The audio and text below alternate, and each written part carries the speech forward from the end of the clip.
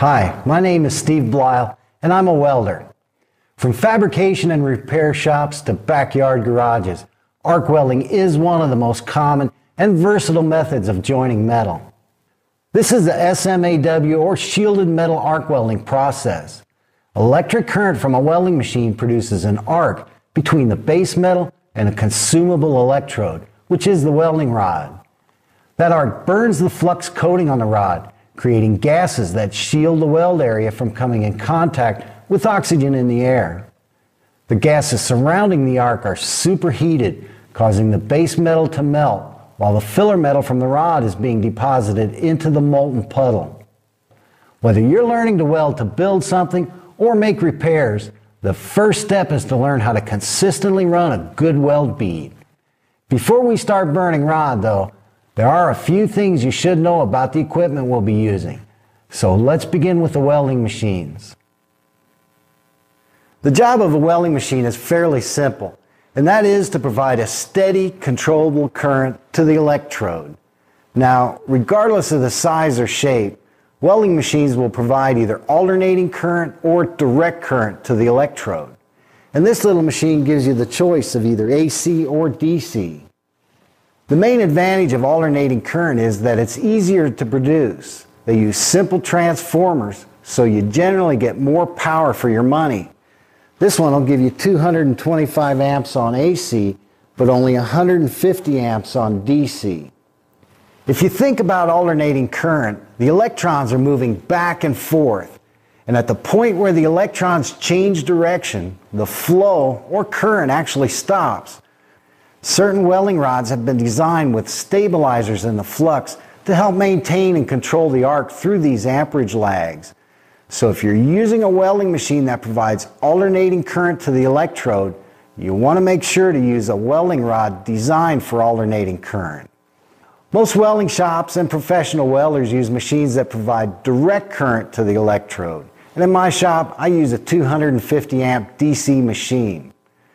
Direct current provides a steady flow of electrons in one direction. The polarity, or direction of flow, is determined by how the leads are connected to the positive and negative terminals on the welding machine. And many of the newer welding machines have a switch to choose the polarity. DC EP, or DC plus, is direct current electrode positive. The electrode is connected to the positive and the ground is connected to the negative terminal.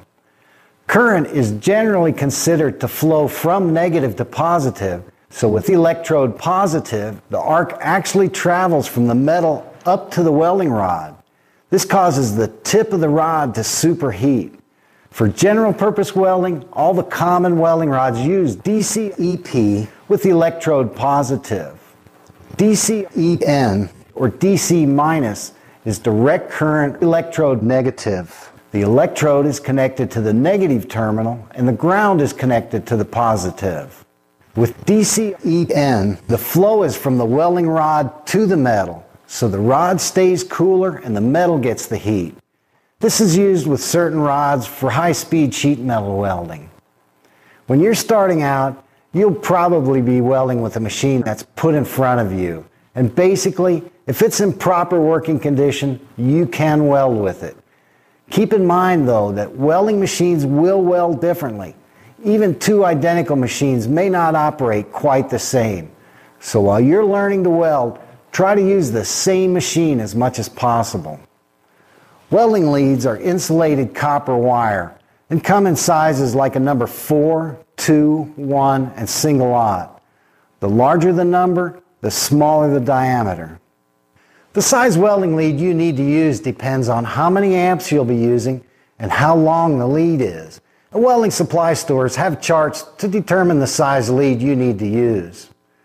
On the end of the main lead, I use a quick connect with about 15 feet of number 4 lead and the electrode holder.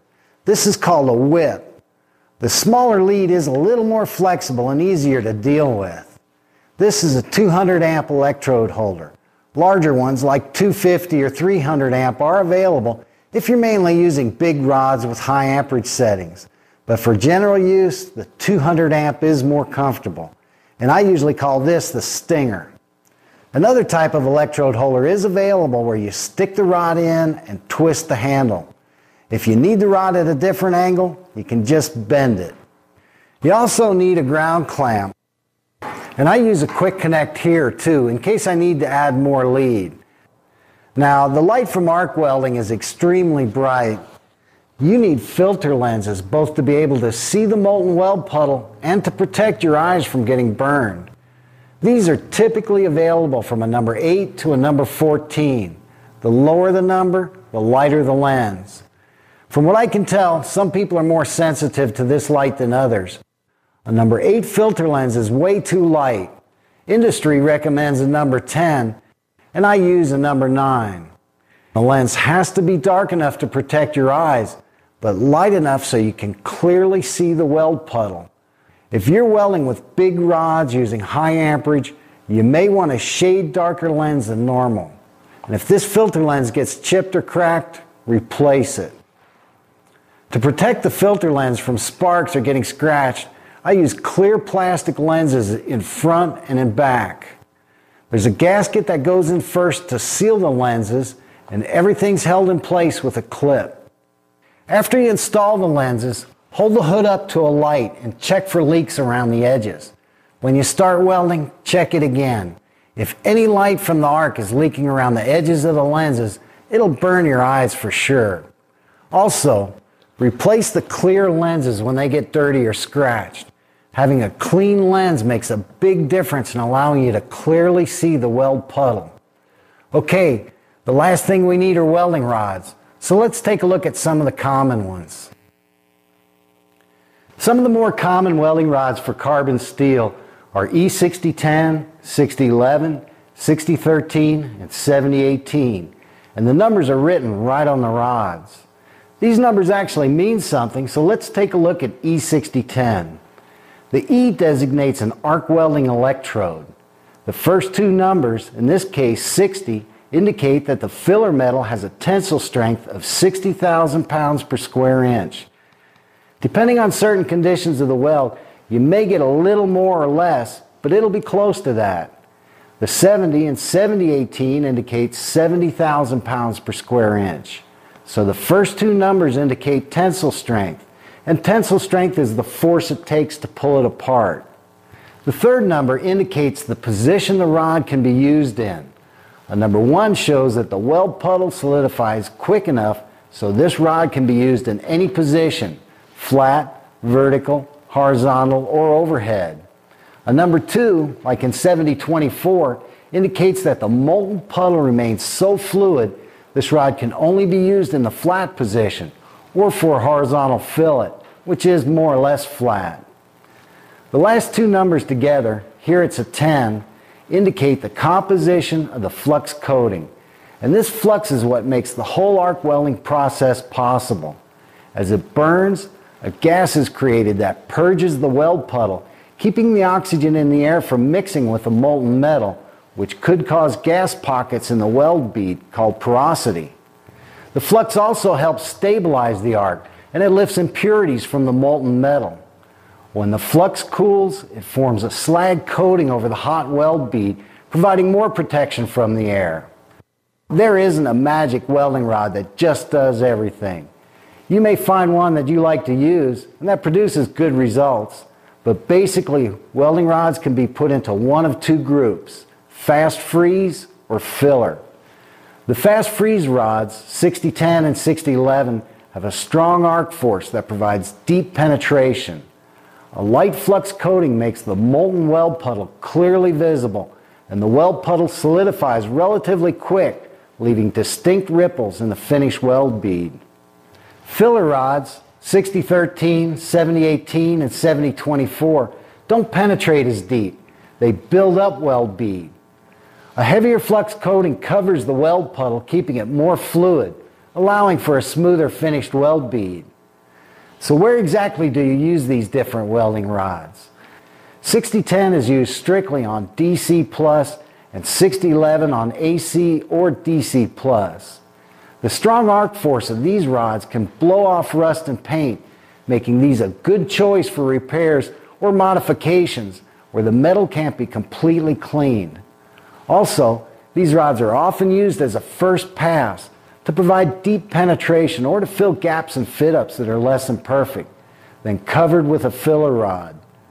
6013 was actually designed for high-speed sheet metal welding on DC-, minus, but these rods can also be used on AC or DC plus for general purpose welding and light fabrication. With stabilizers in the flux, 6013 is probably the easiest of all the rods to use, and it produces a smooth finished weld bead. 7018 is a low hydrogen rod with iron powder in the flux. It's generally used on DC plus, and an AC 7018 is also available. These produce the highest quality welds and were developed for situations where there's extreme stress on the weld joint.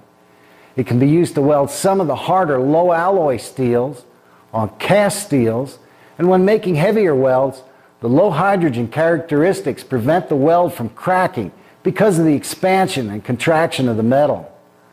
Iron powder in the flux provides a high filler metal deposit rate, which means you can put more metal down faster. 7018 produces a smooth finished weld bead, but does require clean metal and a well-prepared joint. 7024 was used extensively in fabrication before wire feed. A heavy flux coating produces an extremely smooth weld bead, but these rods do require clean metal and a slightly higher amperage setting. 7024 can be used on DC plus or AC, and the 2 does indicate that this rod can only be used in the flat position.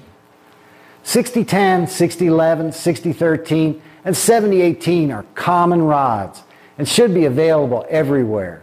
There are other welding rods, and they'll either be a fast freeze or a filler with a different tensile strength, a slightly different flux covering, and usually designed for a specific purpose.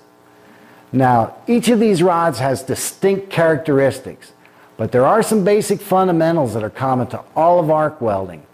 We'll start with the fast freeze type rods because the light flux allows you to see the molten weld puddle clearly. The fast freeze rods 6010 and 6011 are similar and the same techniques can be used with either one. 6010 on DC plus might freeze or solidify a little quicker. 6011 with either AC or DC plus may be a little easier to use because of the stabilizers in the flux that help maintain the arc. Let's start by watching a weld, and I'll try and describe what to look for.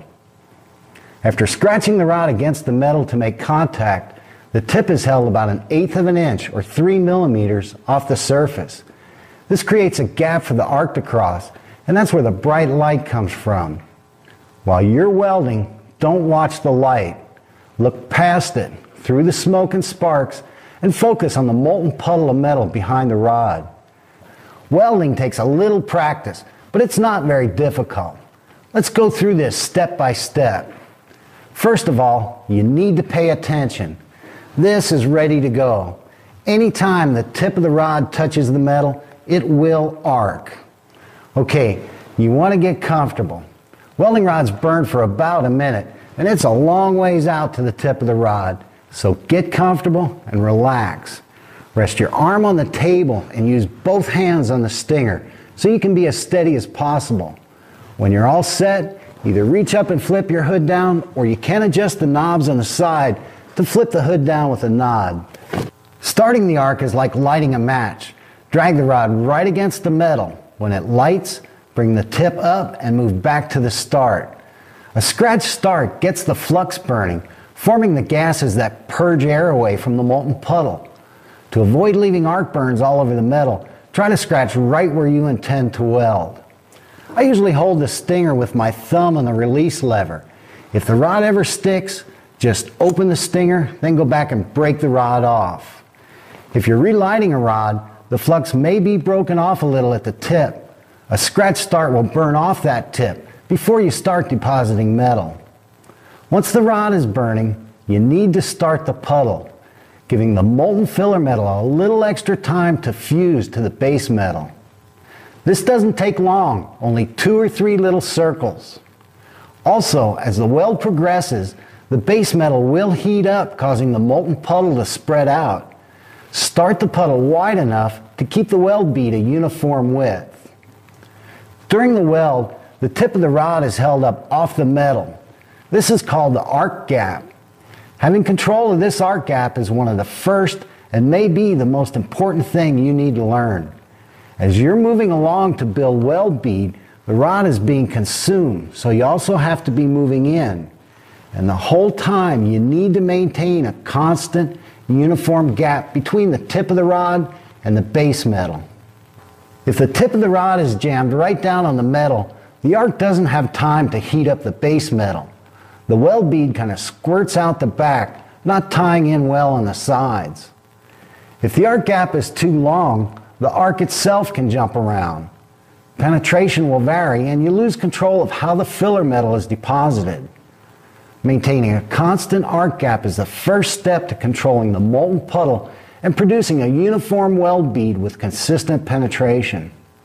The better you learn to control that arc gap, the better you'll be able to weld. When the arc crosses the gap, it melts the base metal, forming a molten puddle.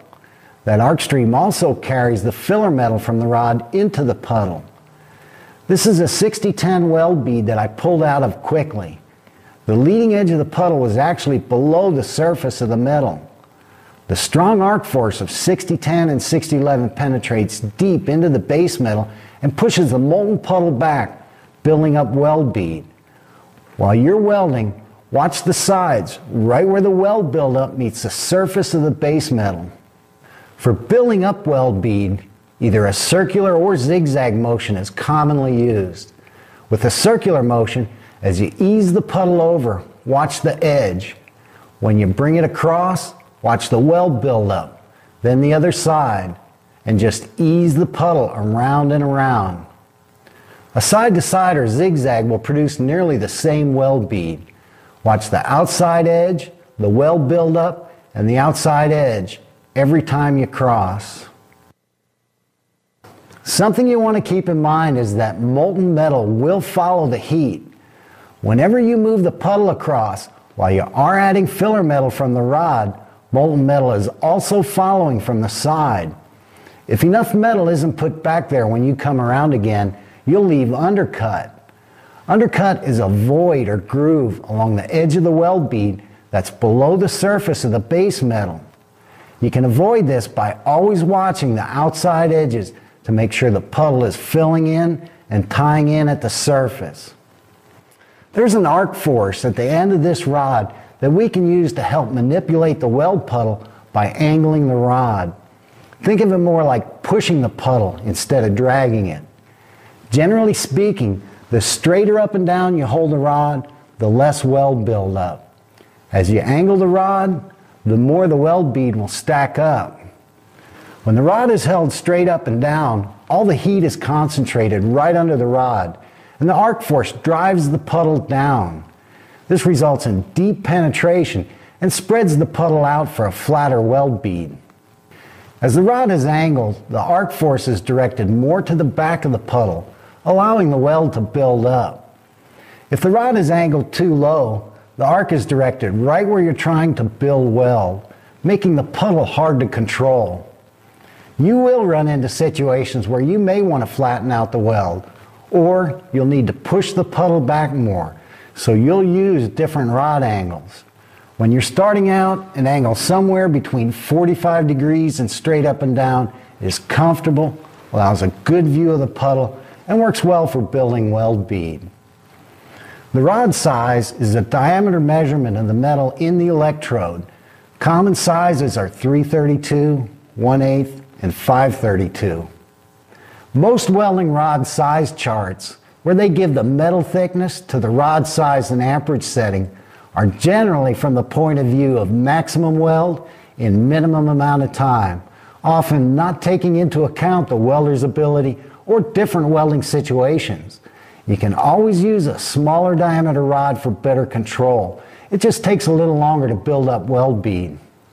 This is a 1 8 E6010 electrode, and this is the most common size used. The manufacturer's recommended amperage setting is from 75 to 130 amps. They're saying this rod will work over a 55 amp range. The specific amperage setting is considered a variable and depends on metal thickness, position of the weld, and the welder's ability. The whole purpose in arc welding is to get the base metals hot enough to melt, forming a molten puddle. If the amperage is set too low, the base metal doesn't get hot enough, and the puddle looks like it's following the rod around. If the amperage is set too high, the base metal gets too hot. The stronger arc force gouges deep into the base metal and pushes the puddle back. When the amperage is set about right, the puddle will spread out and the outside edges tie in immediately. You can ease the puddle around, kind of pushing it with the movement of the rod. Depending on each welding situation, the amperage setting can change. Thicker metal dissipates the heat, so you need a little more amperage. Thinner metal will get hot fast, so you can use a little lower amperage. The final amperage setting is determined by what the molten puddle is doing.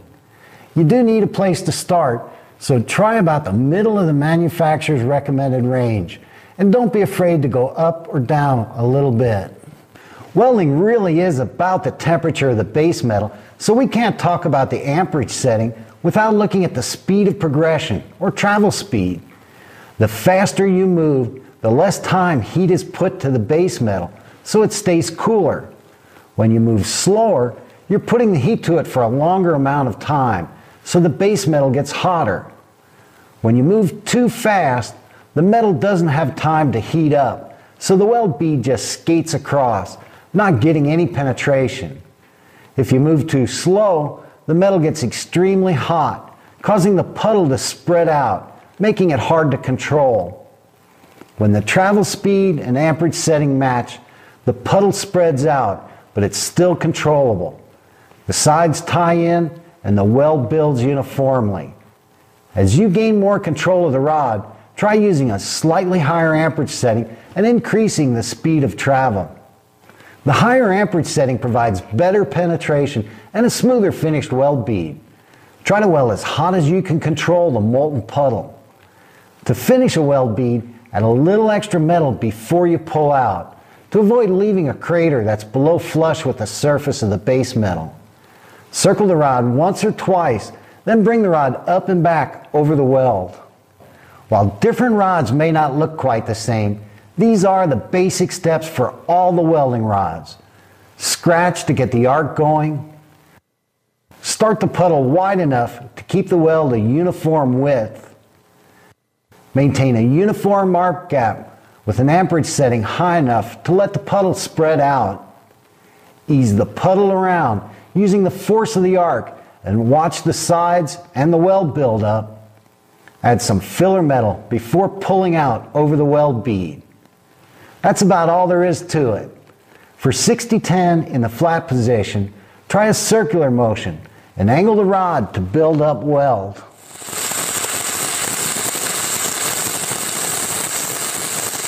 Watch the molten puddle, not the light. Keep the circles tight for a smoother weld bead. A zigzag motion will produce about the same weld. Watch the edges to make sure they're filling in and ease the puddle back and forth. Because of the strong arc force and light slag, you can also use a whip or step motion, and this is what makes the fast freeze rod so versatile. The tip of the rod is moved back so the arc is actually brought out of the puddle. Then molten metal is pushed back in. With the step motion, watch both sides and the weld build up every time you push the puddle in.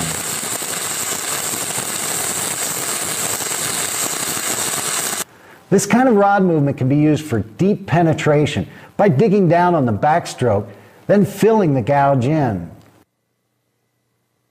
On thinner metals, where you don't need a lot of penetration, you can puddle, then long arc to let the weld bead cool, and puddle again. The thinner the metal, the faster this goes. The step motion can also be used to fill gaps in poorly fit joints. Keep the rod deep in the gap and bring it back, allowing the metal to cool. Then push a little more metal in to fill the gap and let it cool again. The step motion may not always look real slick, but it's usually covered with another pass. So far, we've been welding in the flat position. For a vertical with 6010, you can run either uphill or downhill. Downhill is easier, but there's less penetration and weld buildup. Because heat rises, you're welding away from the heated metal, so you can use a slightly higher amperage setting. Watch the sides and the weld buildup. Try a circular, zigzag, or step motion and angle the rod up a little so the force of the arc helps hold the puddle up. With a circular motion, keep a steady arc gap and ease the puddle around. Move fast enough to stay ahead of the molten puddle. If the puddle wants to drip down, try moving faster, or maybe even a slightly higher amperage setting. When you weld uphill, you'll be welding into the heated metal. So turn the amperage down a little. Angle the rod up so the force of the arc doesn't blow the puddle out. An uphill weld really gouges into the base metal, making undercutting a potential problem. So pay particular attention to the sides of the puddle and watch the weld buildup underneath the rod. If the base metal gets too hot, the puddle may fall out or you might burn a hole right through the metal. Mess with the amperage setting and your travel speed until you can carry that puddle right uphill. A horizontal weld is a cross, and you want to angle the rod to push the puddle up. Keep the rod nearly perpendicular to the metal or angle into the weld a little bit. If you angle the rod too far, the arc force can blow the puddle out. Using a circular motion, keep a steady arc gap and just ease the puddle around. Every time you bring the rod down, the molten metal will follow the heat. Make sure you push the puddle up and watch the top side.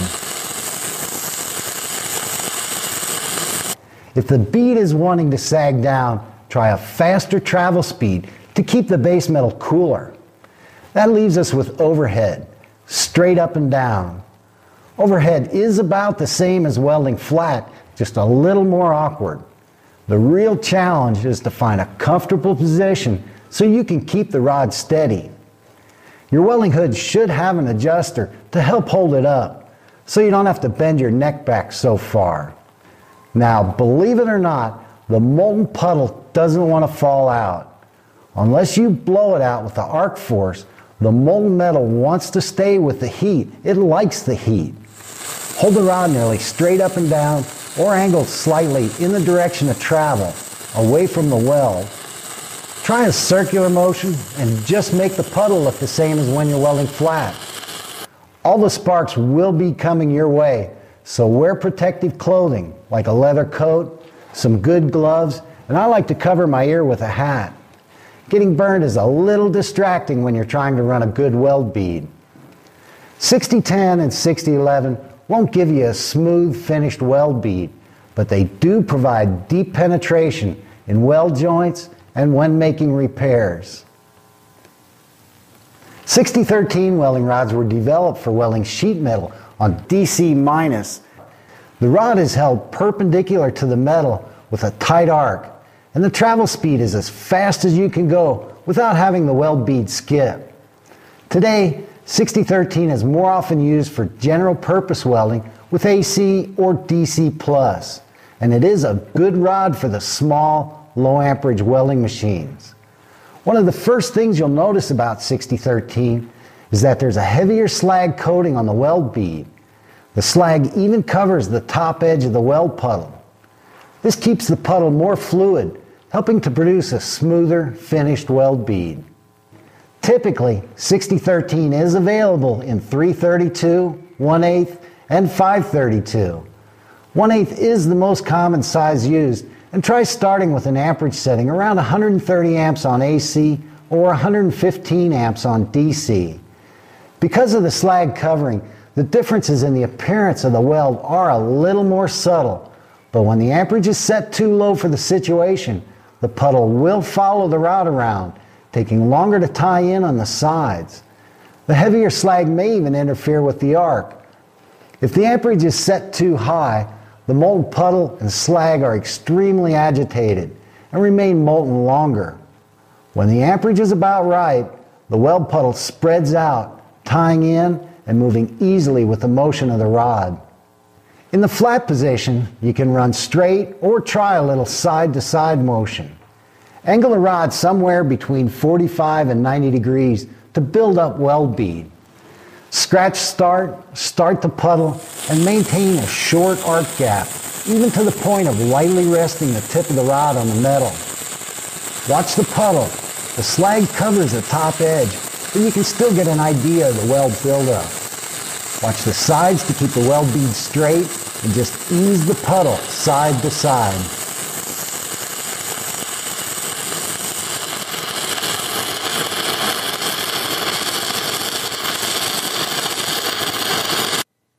On vertical welds, 6013 was designed for a downhill application. You'll be welding away from the heat, so try turning the amperage up 5 to 10 amps. Angle the rod up so the force of the arc helps hold the puddle up. Maintain a short arc gap and try a slight side-to-side movement. Watch the outside edges to keep the weld bead straight and travel fast enough to stay ahead of the molten puddle. If you can't stay ahead of the molten puddle coming down, try moving a little faster or raising the amperage setting. For more weld buildup on heavier metal, 6013 can be run uphill.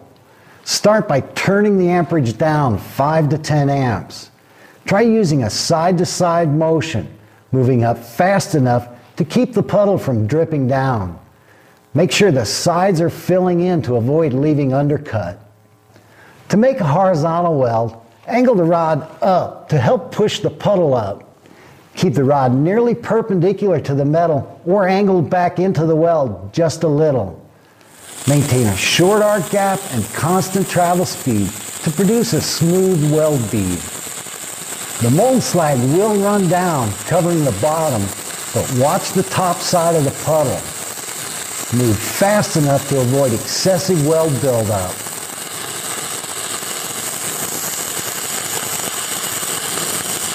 While you're learning to weld horizontally, don't try to carry too much metal. Keep the weld bead small. If you need more weld, you can always run a second pass above the first one. Overhead with 6013, like every other type of welding rod, is awkward. Hold the rod straight up, or because of the mild arc force, you can angle it back into the weld a little bit and try a slight circular motion. The heat of the weld is going straight up, right where you want it. So if you can get in position to maintain a short arc gap and uniform travel speed, overhead will produce a good weld. 6013 is the favorite rod in many home shops. They're easy to light, they maintain the arc, and produce a good looking finished weld bead. 7018 produces an extremely high quality, good looking weld bead. This is the rod to use for heavier fabrication and repair or any situation where there's stress on the weld joint. These rods rely on a heavy slag coating to protect the molten weld puddle from coming in contact with oxygen in the air. This heavy slag makes 7018 run a little different than the other rods we've looked at. With the fast freeze rods 6010 and 6011, the molten metal in the weld puddle is completely visible. Slag covers the top edge of the molten puddle with 6013, but the filler metal and slag solidify pretty much at the same time. With 7018, the entire weld puddle is covered by molten slag. The filler metal actually solidifies underneath while the slag stays molten on top. If you keep in mind that what you see is molten slag and understand what the metal is doing underneath, 7018 is fairly simple to use. And even though the metal is solidifying underneath, watching the molten slag behind the rod will give you an idea of the weld buildup. 7018 is a little more sensitive to arc gap and rod movement. Make sure you're comfortable so you can be as steady as possible. A scratch start will get the flux burning before you deposit any metal. If you're relighting a rod, there's usually slag covering the tip. You may have to bump the rod to break that slag, then scratch to get going. Once the rod is lit, start the puddle. Besides tying in and getting started wide enough, this gives a little extra time for the gases to cook out of the molten puddle. If you move too quick, gas pockets may cause voids in the weld bead called porosity. Most times they're not even visible until you grind into the weld bead. Porosity can also be caused by welding on metal that's rusted, painted, or has any contaminants on it, like oil or grease. 7018 does require clean metal. After the puddle is started, try a little side to side motion, maintaining a constant short arc gap. In some situations, you can even lightly rest the rod on the metal. With a mild arc force and slag covering the puddle, you do want to avoid letting the rod burn up or pulling the rod away from the metal. You don't want to let that slag cool, so keep the arc in the puddle. The typical rod sizes are 332, 1 8 and 532. Because the flux contains iron powder, which deposits more metal in the weld puddle, 7018 requires a little higher amperage, and these settings may vary up or down depending on metal thickness, weld position, and your ability to control the movement of the rod. With molten slag covering the entire puddle, you depend more on how the puddle acts than how the puddle looks. If the amperage is set too low for the conditions, the puddle won't spread out, taking longer to tie in on the sides. The rod might stick or go out. If the amperage is set too high, the puddle is agitated and extremely fluid. Little balls of metal might dance off to the sides, causing excessive weld spatter. When the amperage is about right, the slag solidifies back from the rod. The sides tie in and you can ease the puddle side to side. Here again, as you gain control of the arc gap, rod movement, and travel speed, you'll find that 7018 runs easier and cleaner with the amperage set a little to the hot side. The angle of the rod not only affects how the filler metal is deposited, but how the molten slag will behave. If the rod is held straight up and down, the slag can get in front of the weld puddle. If the rod is laid too far down, the flux coating won't burn evenly and the rod may stick. When the rod is angled between 45 and 90 degrees, the slag is forced back where it belongs, over the molten filler metal. Welding in the flat position is fairly simple. Remember to relax, get comfortable, and use two hands on the stinger. Try to maintain a short arc gap and constant travel speed. Watch the outside edges of the puddle to make sure they're fusing and staying even. Look behind the rod for an idea of the weld buildup. In the flat position, even 532 rods are fairly easy to control if your welding machine can produce enough amperage and there's plenty of metal to carry the heat. For a horizontal, we'll be welding across. If you're just starting out, try using a 332 rod. The smaller puddle is a little easier to control. Normally, I weld from left to right because I can see the puddle better. For 7018 in a horizontal, I move from right to left. You can weld in either direction, whichever is more comfortable. Angle the rod up and back into the weld a little. The puddle is fluid, so keep moving to avoid excessive weld buildup. Molten slag will cover the bottom, but watch the top side to keep the bead straight and avoid undercut. If the weld bead wants to sag, try increasing the travel speed. You want to go slow enough to let the molten metal fuse, but fast enough to keep the base metal from overheating, which causes the puddle to get more fluid and sag. Vertical welds with 7018 are made uphill. Start at the top and scratch down to where you want to start the puddle. You can run straight up or use a side to side movement. When I do this, it feels like there's a slight arc in the motion. Move across the center relatively quick. As soon as the puddle ties in on the side, cross back and keep on going. The amperage setting and travel speed go hand in hand, especially when you're going uphill. Maintain a constant short arc gap. Don't let the rod burn away and don't jam the rod into the puddle. As you gain experience, you can carry more metal, but try starting out with a 332 rod and keep moving. You don't want the base metal overheating, which is the main reason the puddle falls out. Overhead with 7018 produces an excellent weld. The heat is going right where you want it. Try about the same amperage you'd use for welding flat and hold the rod nearly straight up and down or angled slightly into the weld. You can run straight or try a little side-to-side motion to carry more metal. And you can carry quite a bit of metal overhead. Get comfortable and be creative if you have to. When you can control the rod movement, that metal will stay up there. However, because the slag remains molten longer, the slag can drip. I usually wear a leather welding jacket for overheads. You will be right underneath the weld. 7018 takes a little more practice, but it's well worth the time to learn how to use this rod. Well, that's about it. I hope I've given you an idea of what to do and what to look for to run good weld beads. As you're welding, concentrate the whole time you're burning that rod and focus on the molten puddle. Do whatever it takes to make that puddle do what you want it to do. There isn't anything automatic about arc welding. You need to put that metal where it belongs and learn to see the weld as it's going in. When you're done, inspect every weld you make. If what you did worked, do it again. If it didn't work, Try something different. A smooth uniform weld bead will come with practice, but you do want the sides of the weld to be tied in nicely to the base metal. If the sides aren't tied in, you may be moving too fast, jamming the rod into the puddle, or running too low of an amperage setting. Moving too slow will overheat the base metal. Long arcing will produce an inconsistent weld bead with excessive spatter.